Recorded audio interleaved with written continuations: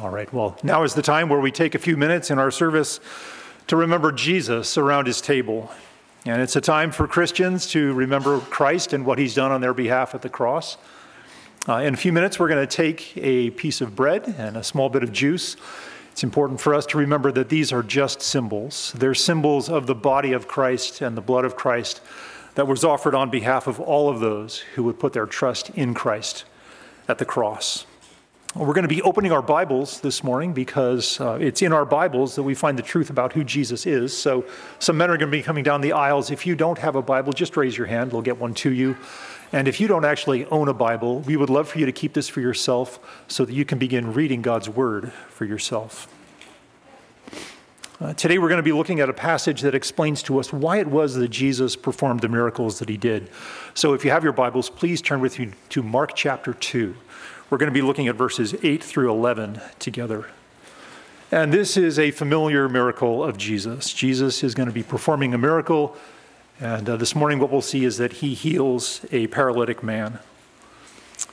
But in order to have a proper understanding of this miracle, it's very important for us to understand why he performs this miracle. And this passage helps us see that. But Jesus' message wasn't the only message during his earthly ministry. Uh, there were many Pharisees, there were many scribes and teachers of the law, and they had messages of their own. And their messages had one purpose, and they wanted to accrue a following for themselves. And the logic was the more followers that a man could have, the more the man could deceive those followers with lies apart from God's word. And eventually he could become a very wealthy man. Uh, but Jesus was the Son of God, and as such, he had the true message. He had the only message, the true message. Uh, his words originated from God himself. He tells us in John 7, verse 16, My teaching is not mine, but his who sent me. What we'll see today is that Jesus' miracles prove that he has the authority to forgive sin. Uh, the setup for our passage is that Jesus has been teaching in the northern region of Galilee all over, and he has returned to Capernaum. And he's been teaching, and people are amazed and astounded at his teaching because his teaching has authority. And you can see that in chapter 1, verse 27. The people are just amazed at the kind of authority that Jesus spoke with. But these Pharisees, these scribes and teachers of the law, they refused to accept that Jesus possessed that authority. The reason why was because that presented a threat to them and their livelihood. So, in the beginning of chapter 2, in verses 1 and 2, uh, you see Jesus, and he is back in Capernaum, and he is teaching in a home. And there are many, many, many people gathered there. A crowd is there. And we know this story. Uh, four men in verse 3 bring this paralytic man to this home. And because of the crowd, they go up to the roof and they cut a hole in the roof and they lower the man through the hole in the roof. And in verse 5, after seeing the faith of those men, Jesus says to the paralytic, Your sins are forgiven.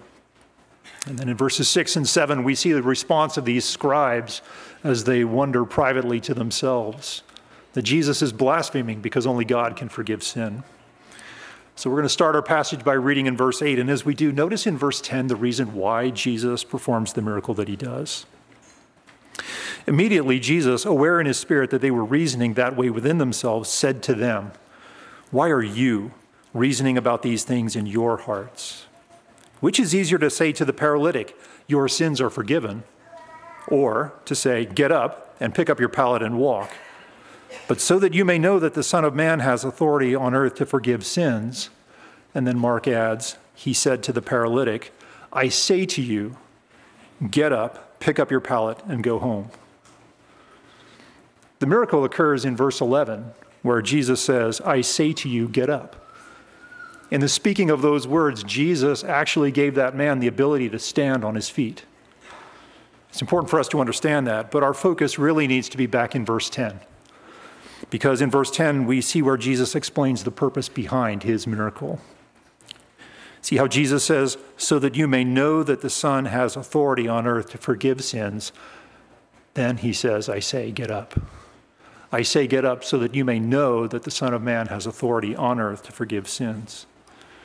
And the you there in verse 10 is a plural you. And Jesus is talking to the scribes. He's not talking to the paralytic in verse 10. He's talking to the scribes so that they would know that Jesus has the authority to forgive sins. Jesus is saying to them, My miracle will overrule the effects of sin in this world. And what that does is that proves that I have the authority to forgive sin. My miracles overrule sin to prove that I have the authority to forgive sin. And this just isn't uh, an argument or this isn't just a line of reasoning. This is very important to us today. And the reason why is that because Jesus has the authority to forgive sin, we know he has the capacity, the capacity to satisfy the Father's wrath against that same sin. And that's why we want to remember Jesus this morning. He steps into this divinely orchestrated scene. He heals this man to prove that he has the authority to forgive sin. And we can take from that that from that authority, he has the capacity to actually go to the cross and to satisfy the Father's wrath against everybody who would put their trust in him. So that's what we want to remember about Jesus this morning that he went to a cross, and because he possessed the authority to forgive sin, he was able to actually satisfy God's wrath against you Christian, for your faith in Christ, for what he would do. So today, when the elements come to you, think on those things. Think on the miracle that Jesus performed. Think about what that communicates to us about his nature and what that means for you about what he did on your behalf at the cross. And uh, then, when you've taken time to prepare your heart, take the elements on your own. If you're here today and you are not a follower of Christ, we want you to know three things. Uh, first is that we're very thankful that you're here this morning. Uh, it is our privilege to put on display what God has done in our lives right in front of you as we sing, as we greet one another, as we listen to the reading of Scripture and teaching. That is our privilege, and so we're thankful that you're here. Uh, second thing we want you to know this morning is that if you're not a follower of Christ, this is a time for believers, people who submit to the lordship of Jesus Christ at the Lord's table. So when the elements come to you, just pass them to the person next to you. But the most important thing I want you to remember this morning is in verse 5 in our passage. Jesus looks to the paralytic. He sees the faith in the other four, and he says to the paralytic, Your sins are forgiven. This is salvation that's taking place right in front of your eyes as you read this passage. Here's a man who Scripture gives us no reason to believe that he was a believer or a follower of Christ entering into this passage. But in this passage, Jesus tells him, Your sins are forgiven.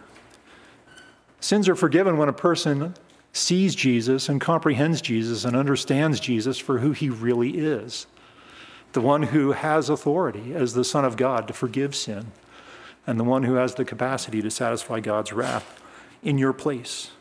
As you look at this and as we're passing the elements, just consider the power and the opportunity that is available to you today, the salvation that is available to you if you would see Jesus the same way that this man saw Jesus. Jesus knew that this man saw him rightly. Jesus had the ability to see into his mind and his heart and knew exactly what he was thinking, just like he knew what the scribes were thinking in verses 6 and 7. So, uh, if you have any questions about that after the service, there will be someone up here at the front to your left. Uh, they would love to listen to you and talk to you and pray with you. They probably have a Bible and they can open their Bible and show you from God's Word how you can know Christ personally. So, men come in service. And then I'll be back in a few moments to pray.